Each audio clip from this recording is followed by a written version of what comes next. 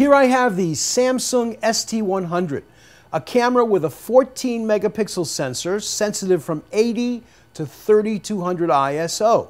And we have a five times zoom Schneider lens from 32 to 160 millimeter equivalent. The most unusual thing about the Samsung camera is that it has two screens. The back screen is a 3.5 inch touchscreen and the front one is 1.8 inches. When you see that second screen in front of the Samsung ST100, you know it's a camera dedicated to self-portraits. Self-timer mode is real easy to use because the ST100 will display a countdown so you know exactly when the shutter will shoot your picture. Besides this self-timer mode, Samsung has created a series of two monitor modes to make the front screen do some effective and fun things. When you press the front LCD dedicated button on the top of the camera to turn on the front monitor, you can see various front monitor modes. Children mode, couple shots mode, a continuous shooting mode called jump shot, and a self-portrait mode called self shot. In self-shot mode, you can automatically take the picture or begin to record the 720p HD video when the camera detects a smile.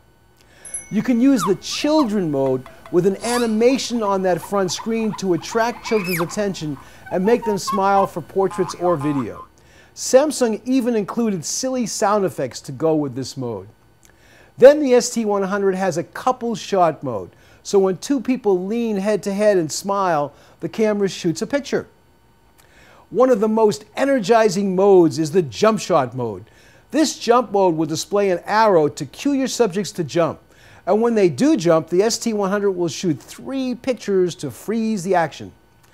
And when you do use the jump mode, you need a brightly lit environment to get the best results, by the way. Now let's turn off that front screen and concentrate on regular photographic features. If you set the ST100 to program shooting mode, then you have access to the most photo shooting selections. Among them, the photo style selector to get custom colors, the ISO selector giving you control over low light situations, you have the focus selection giving you center or multi-focus, and then you have the metering selection, multi, spot, or center weight metering. The Samsung ST100 has a scenes mode that includes a beauty shot mode as well as the more common shooting modes like portrait, dawn, sunset, backlit, fireworks, beach, and snow. The ST100 camera features Samsung's form of photo scene recognition called the Smart Mode. That's for still pictures as well as video. For still picture taking, it will detect 17 different scenes. Among them is close-ups of colorful subjects mode, a sports mode that detects actively moving subjects, and a very helpful night portrait mode. And after you've taken a picture, you can add smart filters like miniature, you got fisheye, vignetting, sketch. It's important to know that this Samsung cam works only with micro SD cards and not the more common SDHC card. A tripod would be very helpful if you're using the self-timer mode or that jump shot mode. Of course, when you're using Samsung's ST100 with the two screens, the battery power gets drained almost twice as fast. So an extra battery is critical.